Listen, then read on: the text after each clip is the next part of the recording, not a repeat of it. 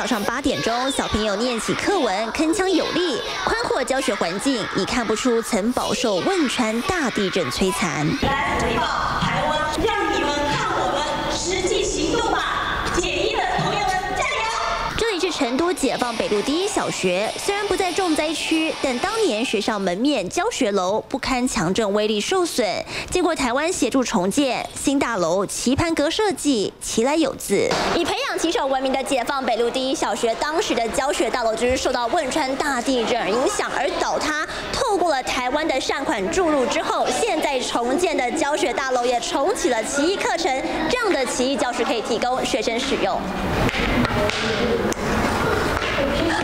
重拾奇艺社团，街北一小把对台湾的感谢化作努力，拿下一座座全国赛事奖杯。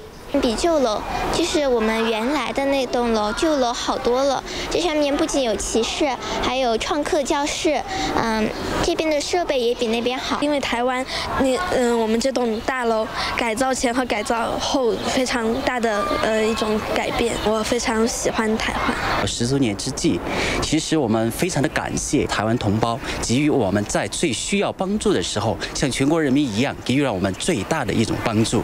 那么在今天，我们在想血浓于水，两岸一家亲，让我们共同创造更美好的未来。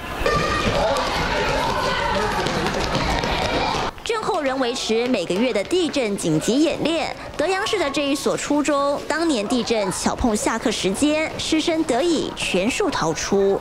因为还有很多同学当时也本来就在操场上玩中午因为我那那天那个天气呢也不是那么晒啊，所以呢我们觉得学生当时嗯疏散的那个程度还是很不错的。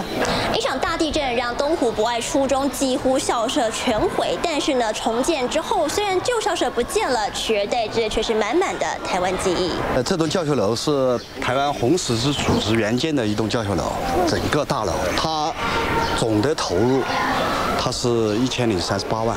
打掉重启，新教室一应俱全，先进设备比照城内。每每开班会，老师总会提起台湾援助，让我体会到真的海峡两岸的同胞那种血浓于水的那种感情，一下就凹陷无疑了。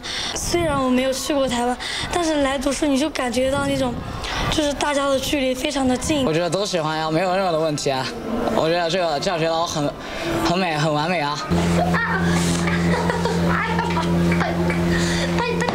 来到安县秀水卫生院，院长谢万俊是骨伤科专业，看诊三十六年，整间病患天天爆满。时间倒推十年前，震后的卫生院全倒，医生们也受了伤。我的头上也是天花板掉下来，把头也砸伤了，但是仍然没有时间休息，就仍然抢救病人。善款涌入，让卫生院能原址重建，尤其这一处设计充满台湾风格。